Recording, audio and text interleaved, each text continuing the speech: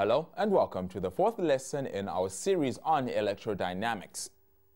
In the previous lesson, we found that changing the magnetic flux around a conductor could create an EMF and current. In today's lesson, we will be looking at how machines called generators can use movement to create electricity. Generators are vitally important as they create almost all of the electricity we use in our homes and businesses. These generators can be the small portable generators like those found on a bicycle lamp or the petrol-driven generators used at construction sites. Very big generators at power stations use the motion of steam, water or wind to create electricity. We can use electromagnetic induction to make wind, water or steam work for us in a constructive way. Now, we already looked at a very simple generator in the previous lesson. By placing a coil in a changing magnetic flux, electricity could be produced from a simple water wheel. Luckily, we have already encountered a machine that allows movement of a coil through a magnet field. Does this machine look familiar? That's right. The electric motor allows a coil to change its position in a magnetic field. In fact, the parts of a motor and a generator are the same. All that we need to do to turn an electric motor like this into a generator is to change the way we use it. An electric motor changes electrical energy into mechanical energy. This small torch uses the movement of a human hand to turn the little generator at high speed. The movement of the armature inside creates electricity to make the light shine. Let's look inside the generator and see how the different parts work together to make the electricity. Movement of a handle, or a water wheel, or even a windmill turns the coil, called the armature in the magnetic field, created by the permanent magnets. This creates electricity.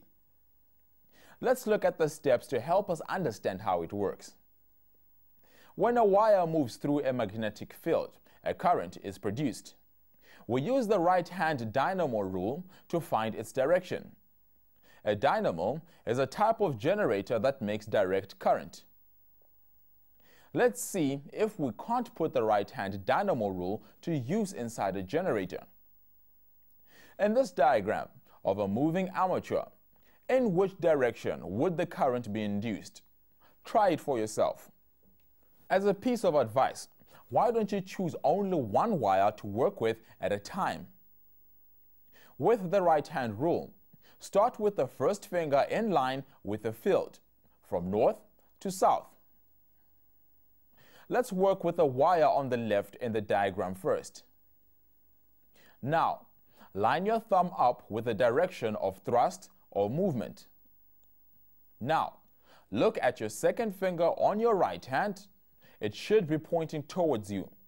This is the direction of current. Check to see if your right hand looks like the diagram here.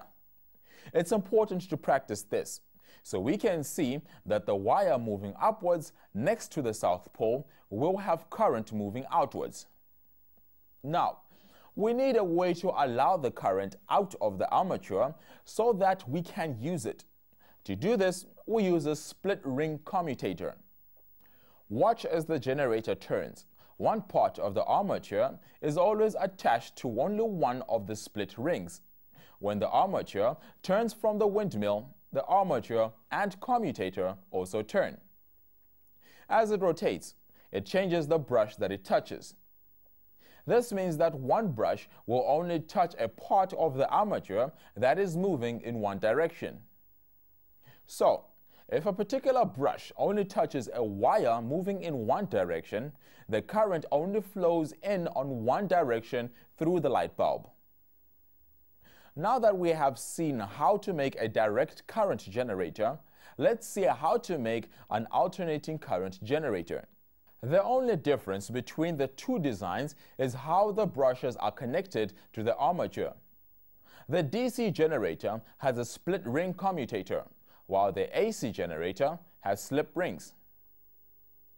When the AC generator spins, The slip rings attach one side of the armature to a brush all the way around. This means that the wire is moving both up and down as the armature turns. This means that current flows in one direction and then the other direction when the same wire changes direction. So the current also changes direction.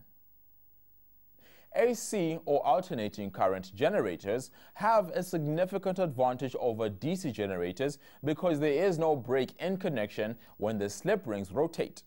Since both AC and DC generators use electromagnetic induction, we can use Faraday's law to make them produce more EMF.